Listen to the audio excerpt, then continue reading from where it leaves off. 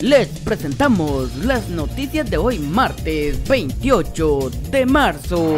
Incendio en centro de detención en México deja 39 migrantes muertos y 29 heridos. Al menos 39 migrantes murieron y 29 resultaron lesionados en el incendio, un centro de detención en la mexicana Ciudad Juárez, fronteriza con Estados Unidos, informó la madrugada de este martes el gobierno de México.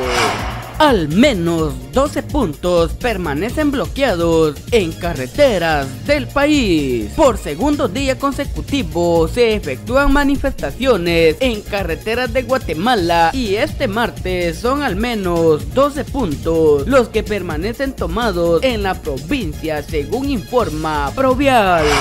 Denuncia ciudadana permite captura de presuntos robamotos. Gracias a una denuncia de un ciudadano que denunció el robo de una motocicleta en el kilómetro 254, aldea El Benque, ruta Río Dulce, momentos después, en la avenida Simón Bolívar, Morales y Zapal, fue capturado el presunto responsable. Se trata de Ángel de 20 años quien fue sorprendido conduciendo dicha moto que fue despojada a su dueño bajo Al detenido se le incautó una pistola de gas comprimido. En otro caso policial, Wilson de 30 años fue capturado en un allanamiento que realizaron investigadores de la DIPANDA y el Ministerio Público en Pueblo Nuevo Viña Santa Rosa por haberle encontrado 30 bolsas con marihuana.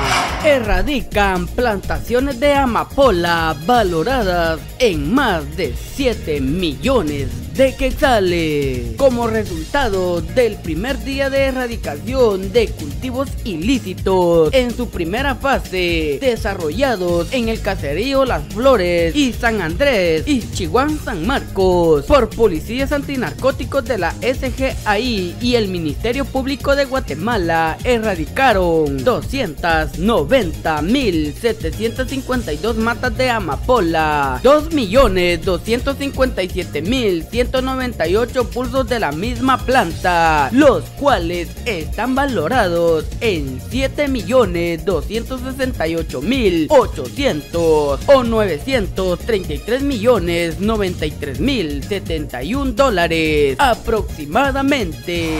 Para más información, visita nuestra página isabalencetv.com. Desde la ciudad de Puerto Barrios, informó Orlando Ramírez para Isabalense TV y Radio Feilo.